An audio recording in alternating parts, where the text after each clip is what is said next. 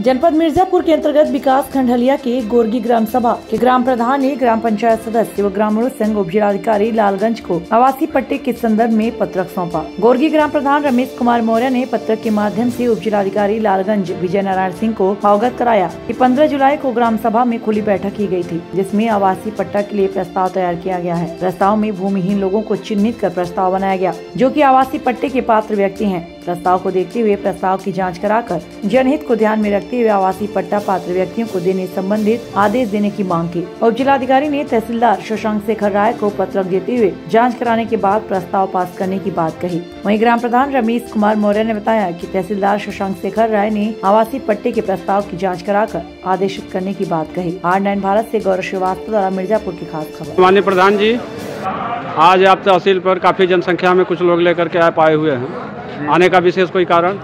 कारण है तुम्बा हमारे ग्राम सभा में हाँ। 200 परिवार ऐसे हैं जिनके पास अभी तक अपना घर बनाने के लिए ज़मीन नहीं है जो कि हमारे यहाँ ग्राम सभा की पर्याप्त मात्रा में ज़मीन है।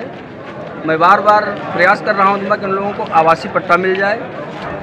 मैं ग्राम सभा की खुली बैठक करके प्रस्ताव तैयार करके आज तहसीलदार साहब को पेश किया तो माननीय तहसीलदार महोदय से मुलाकात हुई आपकी? जी मुलाकात हुई। आ, क्या बात हुई? आश्वासन मिला? आश्वासन मिला। जी। और जाँच करने के बाद लगभग हमारा उम्मीद है कि पट्टा इन लोगों को आवासीय पट्टा मिलने की संभावना है। मिलेगा। चलिए ठीक है धन्यवाद। तीस सेकंड